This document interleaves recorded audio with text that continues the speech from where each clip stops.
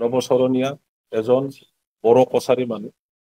বড়ো কছাৰী মানে ট্ৰাইবেল মানুহ বুলি চাৰ্টিফিকেট দিছে। চেলেঞ্জ কৰাৰ পিছত হাইকোৰ্টে কৈছিলে যে তেখেতৰ যিটো এছ টি চাৰ্টিফিকেট এইটো মানে ডাউটফুল আৰু সেই কথাটো লৈ পেলাই তেখেতে বড়ো কছাৰী হয় না নহয় ইয়াৰ ওপৰত ইনভেষ্টিগেশ্যন চলোৱা হৈছে। W P T B C ডিপাৰ্টমেণ্টত হাইষ্ট এটা ফৰাম ভিজিলেঞ্চ কমিটি ভিজিলেঞ্চ কমিটিয়ে ইনভেষ্টিগেট কৰিছে চি আই টি ব্ৰাঞ্চে ইনভেষ্টিগেট কৰিছে আৰু ডিষ্ট্ৰিক্ট এডমিনিষ্ট্ৰেশ্যন ডি চি আৰু concern officers including police department investigation কৰাৰ পিছত ৰিপৰ্ট কৰা হৈছে আৰু ইয়াৰ ওপৰত চৰকাৰৰ এটা সিদ্ধান্ত হৈছিলে যে তেখেতৰ চাৰ্টিফিকেটটো মানে লিগেল নহয়। যে নৱচৰণীয়াই বড়ো মানুহ নহয় বড়ো কছাৰী নহয়। সেই কথাটো কৈছে।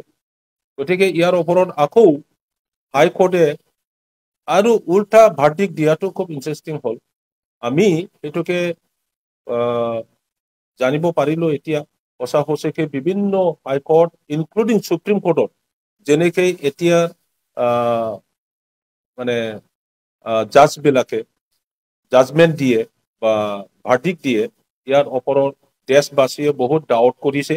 আৰু সেই ডাউটটো সঁচা সঁচিকে আজি সঁচা বুলি আমি দেখিবলৈ পাইছোঁ। গুৱাহাটী হাইকোৰ্টে যি ভাৰ্ডিক দিলে যে ষ্টে অৰ্ডাৰ মানে এই ষ্টে অৰ্ডাৰ দিয়াৰ অনলি ইণ্টেনশ্যনটো হ'ল যে নৱচৰণীয়াক আগন্তক যি পাৰ্লিয়ামেণ্টাৰী ইলেকশ্যন ইয়াত পাৰ্টিচিপেট কৰিব দিব লাগে।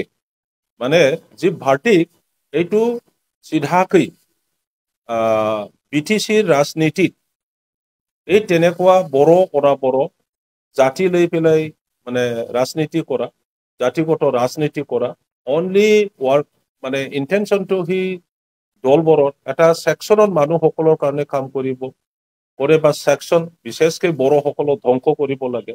তেনেকুৱা ৰাজনীতি শক্তিক এম্পাৱাৰ কৰিবৰ কাৰণে এটা চক্ৰই মানে ইয়াত লাগি পৰি আছে।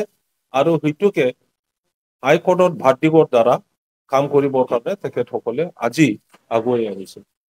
গতিকে হাইকোৰ্টৰ যিটো ভাৰ্ডিক ইয়াৰ ওপৰত আমাৰ আস্থা নাথাকিল। হাইকোৰ্টৰ যিটো জাজবিলাক আছে জাজসকলৰ যিটো ইণ্টেনশ্যন ইয়াৰ ওপৰত আমাৰ আস্থা হেৰুৱাইছে।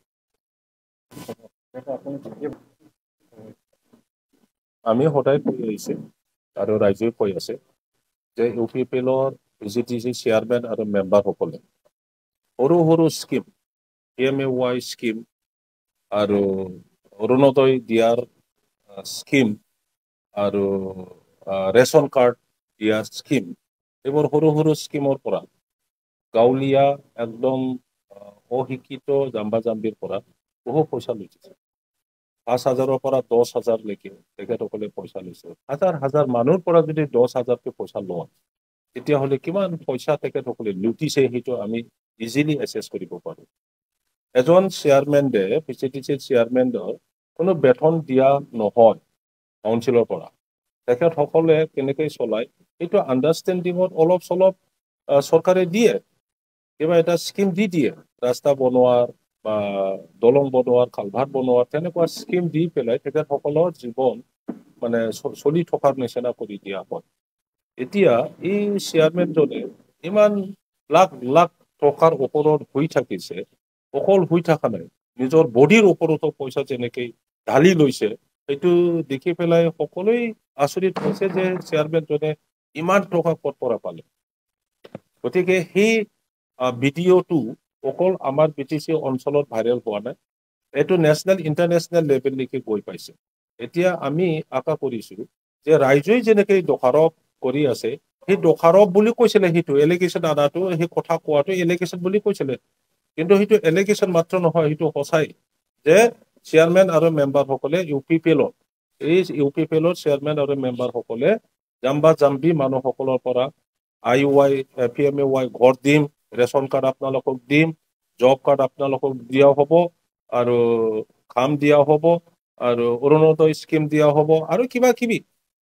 স্কিম দিয়া হ'ব বুলি পাঁচ হাজাৰৰ পৰা দহ হাজাৰ পইচা লুটি লোৱাটো সঁচা সঁচিকেই এইটো সত্যতা আছে গতিকে চৰকাৰে ইয়াৰ ওপৰত উচিত তদন্ত কৰিব লাগে আৰু গোটেই মানে ইউ পি এফ এলৰ B C T C chairman মেম্বাৰসকলৰ ওপৰত ইনভেষ্টিগেশ্যন হ'ব লাগে আৰু আইনগতভাৱে তেখেতসকলৰ ওপৰত পানিছমেণ্টৰ ব্যৱস্থা ল'ব লাগে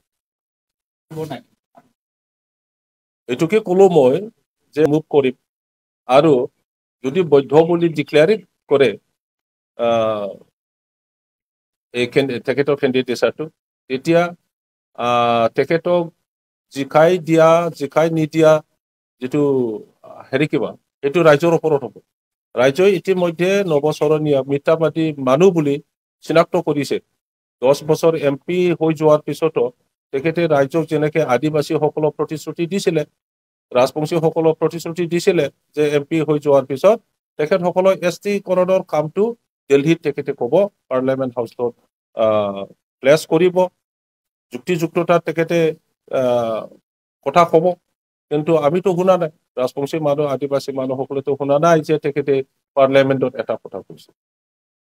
বঙালী হওক বা মুছলিম মানুহ হওক নেপালী মানুহসকলৰ যিটো দ্বীপথাৰৰ কথা তেখেতে উত্থাপন কৰিব বুলি কৈছিলে। কিন্তু দহ বছৰ এম পি হৈ যোৱাৰ স্বত্তেও আমিতো এটা কথা শুনা নাই বাঙালীসকলৰ কাৰণে কিবা এটা কৈছে মুছলিম মানুহৰ কাৰণে কিবা এটা কৈছে বা গোৰ্খা সম্প্ৰদায়ৰ কাৰণে কিবা এটা কৈছে কোনেও শুনা নাই।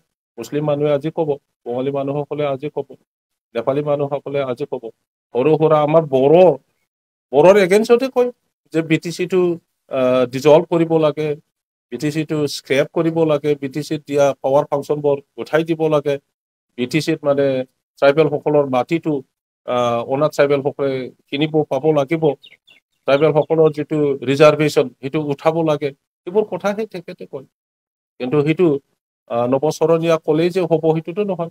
এই সিদ্ধান্তটো আমাৰ নহয় বড়োসকলৰ নহয়। এই সিদ্ধান্তটো বি টি চিৰ নহয়। এই সিদ্ধান্তটো আছাম চৰকাৰৰ।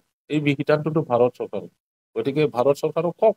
কিন্তু তেখেতে ভাৰত চৰকাৰৰ এম পি হৈ যোৱাৰ পিছতো একো নকৈ ইয়াতহে বি টি চিত বড়োসকলক বিয়া বিয়া কথা কয়। এটা জাতিৰ প্ৰতি ইমান মানে সুত থকা মানুহৰ মনোভাৱ কেনেকুৱা ৰাইজে এতিয়া গম পায়।